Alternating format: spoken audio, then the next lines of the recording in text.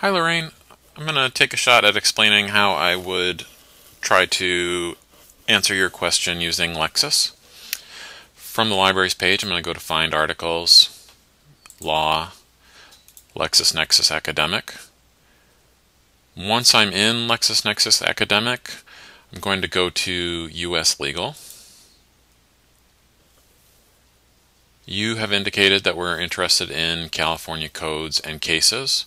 So I might start in federal and state cases. I'm going to suggest that we might be better off searching state statutes, codes, and regulations, and that's just because, you know, the annotated codes, if I find a code section that I'm interested in, the annotated codes are going to point me towards relevant cases. So this might just let me kill two birds with one stone if I find something in the annotated codes. So I'll click on State Statutes, Codes, and Regulations. And then the default is to search Alaska. Obviously, we're not interested in searching Alaska. We're going to search California.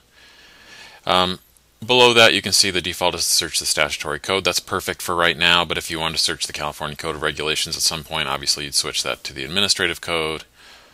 Um, it's possible at some point you'd want to be searching the code and the Constitution, but for this question, I think it's going to be fine just to search the code. Now I could come up here and start searching, but what I want to recommend to your students is that you use the advanced search.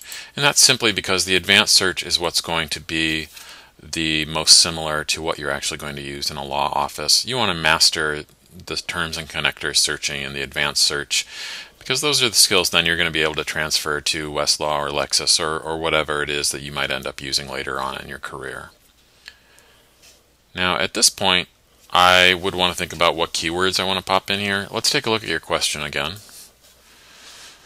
Alright, so I'm going to suggest that keywords might be respondent, uh, discovery, electronically stored information, and burdensome, oppressive, overbroad. So let's start putting some of those terms into our search.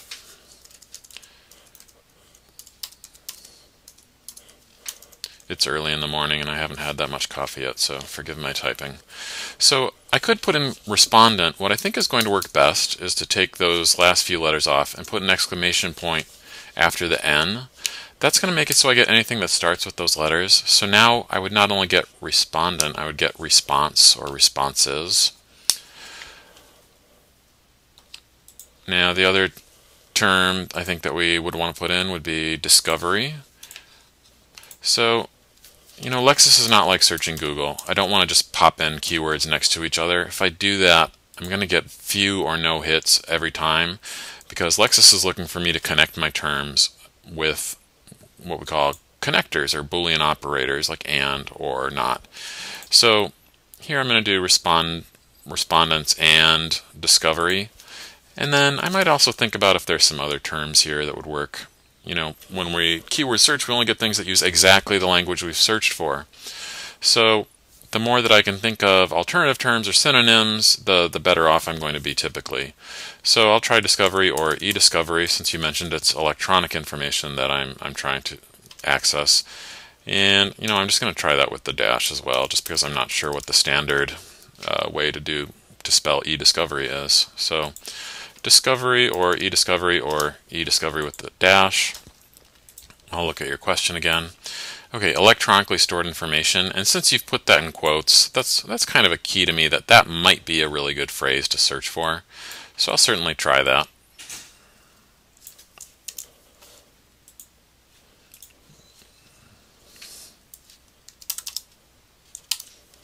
And to search for something as a phrase, you just put it in quotes. Although here, again, I'm going to try to think of alternative terms, electronically stored information, or I might just go with electronic and with the exclamation point. Um, just going to get a little bit creative here. Yeah, let's try that.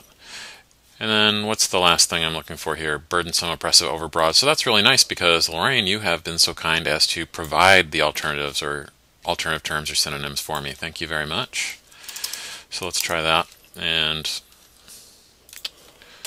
uh,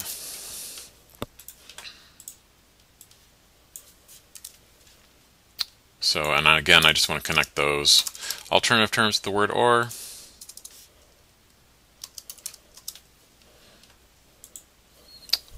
All right, so let's just make sure this, this looks like a decent search here. So I've got respondents and discovery or e-discovery or e-discovery and electronically stored information or electronic or computer and burdensome or oppressive or overbroad.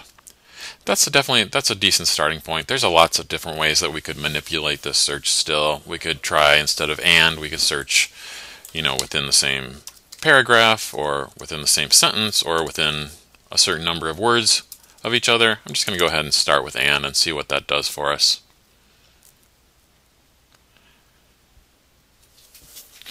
And that got me 53 results. So, you know, being as broad as I was searching for like words like computer, that might not have done me any favors. Uh, I might even, since I've got so many, I might want to go back and and edit that search. Um, yeah, I'm going to go ahead and do that.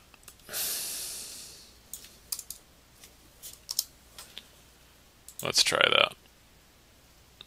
That's better, 39. And, you know, you can see there's some hits coming up in several different codes. You know, obviously I might have to look through those, but when we're talking about discovery, I've got a pretty good idea that that's going to end up being in the, the Code of Civil Procedure. So I'm probably going to focus my, my searching there. Um, we get a little blurb here. Sometimes that'll be enough to tell us, you know, if we want to look at these hits or not eventually, I think we're going to start finding that most of the hits that we'd be interested in would be around California Code of Civil Procedure 2031.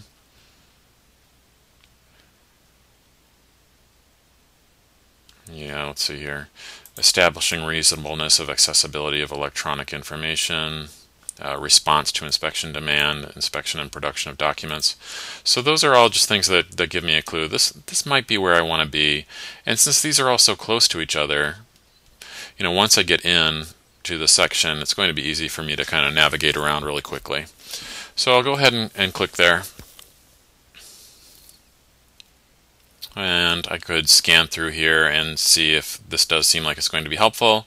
If it is, then good. I've got you know one of the code sections that I might be interested in. If I keep going down to uh, well, in these collateral references, I might get some ideas for other places that I would want to look, do some research. Believe we have this Matthew Bender practice guide on California e-discovery, so you could go into the library and, and take a look at that. But then eventually also I get to the notes of decisions. So if I'm looking for codes and cases, then I would want to take a look through here and see if any of these cases would be would be of interest to me. Now, remember I said there might be some other code sections around here that would be of interest. Um, you can kind of like flip through the pages by clicking these little arrows by document browse. That would just take you to the next um, to the next session to the next section. Or if you click on show table of contents,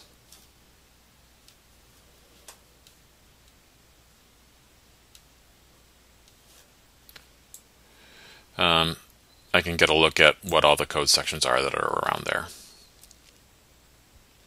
Well, Lorraine, if that's what passes for a basic question, good lord. Oh boy. Um, so I hope that was helpful. That was kind of a, a, lot. If you have any questions, I hope you will let me know. Get in touch with me. And, you know, for any students that uh, watch this, if you have any questions about how this worked, I'd be more than happy to go over this in, in more depth. All right, I hope that was helpful, Lorraine. Thank you.